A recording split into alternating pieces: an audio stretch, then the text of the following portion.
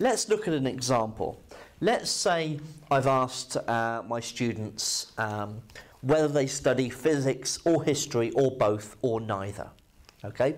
And what's happened is that I've found that eight people study physics only, four study history only, three people study both physics and history, and five students study neither physics nor history nor both.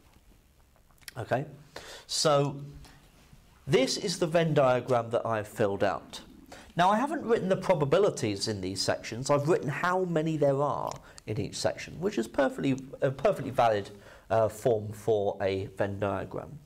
And from this, I want to work out the probabilities of each of these. So I've made a, a nice selection of probabilities that I could potentially be asked to find. So we're going to start off right at the top. Find the probability of a student student student student studying physics.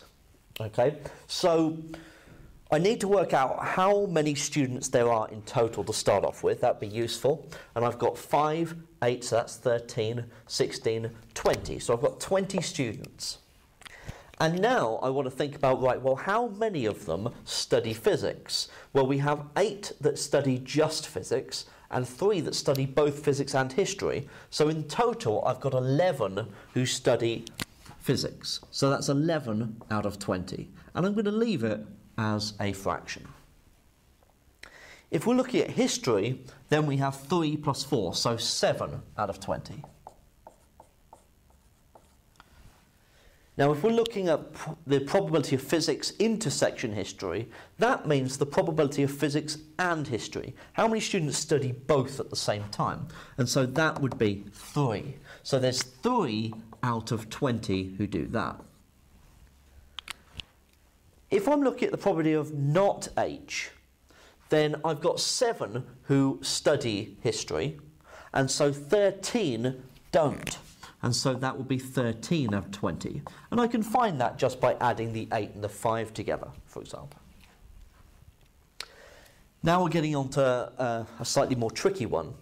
What is the probability of stu a student studying physics and not history? Okay? So they don't study history, but they do study physics and that would be those eight there. So you're looking at the overlap between not H, which is effectively outside of H. So if we do a separate diagram down here, here's H, here's P. So not H is that bit there, so that's not H, and P is this bit here, So where does the red overlap with the blue? Well, it overlaps in just this bit here, this kind of crescent shape. And so that is just 8. So it's 8 out of 20. Which obviously you, you can simplify these fractions down. I'm not going to worry about that. Now the probability of not P. So similar to the probability of not H, we're just going to look at 4 plus 5, which is 9. So 9 out of 20. You can also work it out as 1 take away 11 twentieths. The probability of physics union history. So physics or history or both. And so that is 8 plus 3 plus 4. And so 15 out of 20. Then finally, you've got the probability of not physics or history or both. Okay, now that's a little odd to think about. So sometimes with these it's going to be a case of let's draw a Venn diagram to help us. Well, another Venn diagram.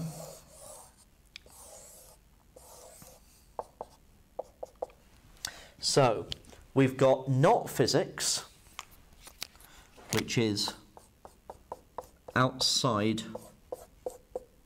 of P or history, or both. So, outside of physics, or history, or both, which is this crescent shape here. And so we're including everything but that 8 that I've got left over. And so this would have to be 12 out of 20. And that is how we can use Venn diagrams to help us. Okay? Now, in the next video, I'm going to work with exactly the same example, so you may want to continue watching for the next one, and I'm going to introduce the ideas of conditional probability.